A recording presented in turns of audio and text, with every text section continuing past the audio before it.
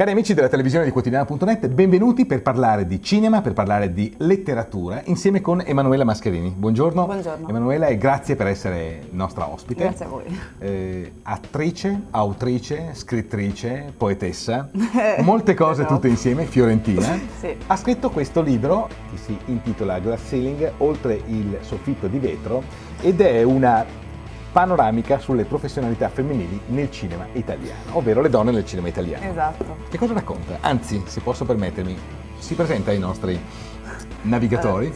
Diciamo che odio le presentazioni, comunque ci proveremo, mi sforzerò di presentarmi. Allora sono una atto-autrice a questo punto e ormai vivo a Roma dal 2001, sono diplomata al Centro Sperimentale di Cinematografia e come prima professione sono un'attrice quindi.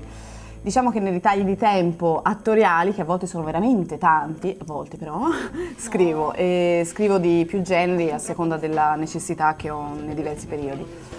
Ora, questo in particolare è un libro che parla delle donne nel cinema italiano, è, una, è un libro che parte da una tesi di ricerca mh, mm, sulle donne nel cinema sia davanti che dietro la macchina da presa e approda a un'analisi che rivela quanto in realtà negli ultimi 30 anni ben poco sia cambiato e che le donne in realtà riescono a raggiungere solo una quota del 20% rispetto al totale dei lavoratori del cinema italiano. Insomma.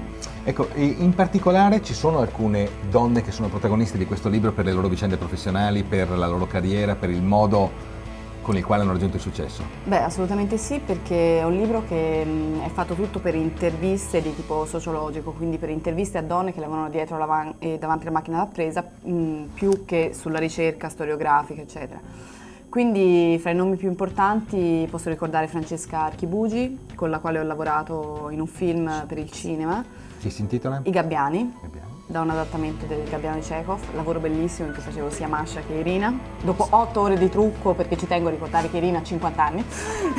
Quindi, Invece lei è giovanissima. Esatto. Anche se, se posso, anche se, posso, permettermi, appunto, c'è un moto di curiosità perché sì, lei perché nella sua biografia è nata a Firenze negli anni 80. Esatto, quindi potrei avere dagli, dai Beh, 20 ai 30. Una fanciulla in fiore, assolutamente. esatto.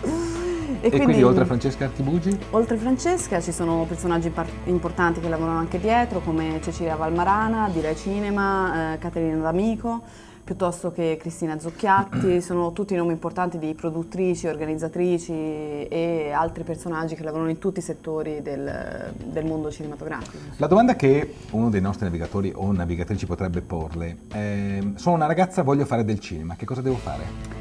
Ah, allora, prima di tutto per me ehm, la cosa più importante è andare a Roma. Ora so che questo può essere un po' banale, però è una cosa in cui credo fortemente, nel senso che si può fare anche cinema, studiare anche cinema a Firenze, però insomma è come voler far teatro nella stanza certo. di casa propria, insomma. Chiaro. Purtroppo, dico purtroppo perché è, è molto importante anche decentralizzare il cinema, però i mezzi stanno tutti a Roma.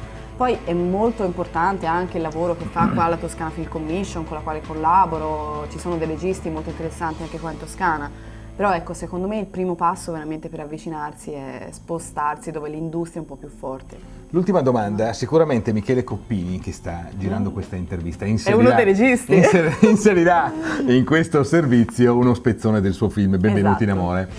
Lei che ruolo ricopre e come si è trovata con Coppini in questo film? Beh, io mi sono trovata molto bene, credo che sia uno dei registi con cui vale la pena fare un'esperienza qua in Toscana e anche più di una, speriamo, vero Coppini? È un appello questo.